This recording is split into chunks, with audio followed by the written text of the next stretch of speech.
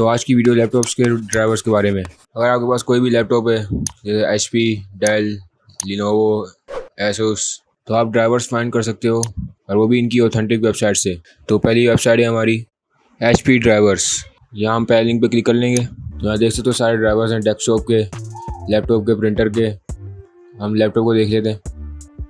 यहाँ हम लोग लिखेंगे सीरियल नंबर वगैरह, जो भी है, जो आपके कंप्यूटर में है लैपटॉप में है। वो सीरियल नंबर इधर लिखेंगे, ठीक है? या आप इसकी वेबसाइट सॉफ्टवेयर भी डाउनलोड कर सकते हो इसका। इस लिंक पर क्लिक करेंगे डेल एंड डाउनलोड्स तो यहाँ भी सेम वेबसी वैसी वेबसाइट है, ठीक है? इधर ही प्रोडक्ट आए प्रोडक्ट लिखना है प्रोडक्ट आईडी नंबर लिखना है इधर। जो भी है, जो आपके पीसी में है लैपटॉप में है, वो प्रोडक्ट नेम लिखना में लिख आपको दिखा देता हूँ मेरे लैपटॉप का क्या है। इधर मैं सर्च में लिखूँगा P R O product ID, इसमें कर लेंगे ठीक है? ये मेरी प्रोडक्ट आईडी आ गई है। ये देख सकते हैं, ये वाली नीचे मैं नाम लिखा हुआ है, पूरा एच का। तो ये मेरी प्रोडक्ट आईडी आ गई है।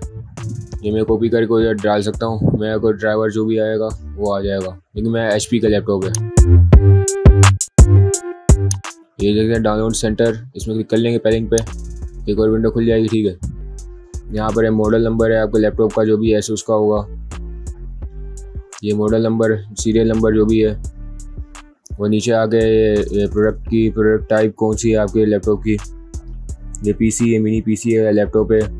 तो सारा कुछ जो भी है, वो सेम सेम तरीका ही है। सारा प्रोडक्ट प्रोडक्ट नंबर लिखना प्रोडक्ट आईडी नंबर लिखना सीरियल नंबर लिखना, जिसमें भी। तो आपको डाल कर दे देगा। एक सॉफ्टवेयर डाउनलोड होगा, बस हो जाएगा। ये अगर विंडोज़ टेन और विंडोज़ इलेवन की यूज़र्स के बारे में बात करें तो अपनी विंडो को एक्टिवेट कर सकते हैं या अपडेट कर सकते हैं।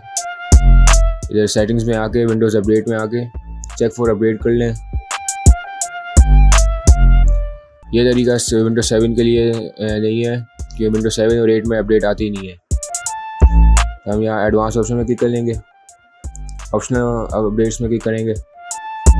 या अदर अपडेट्स में मैं अपडेट आई हुई है, मैं डाउनलोड एंड इंस्टॉल कर लूँगा। तो मेरी एक और अपडेट है इंस्टॉल हो रही है ये। डाउनलोड हो रही है, फिर इंस्टॉल होगी।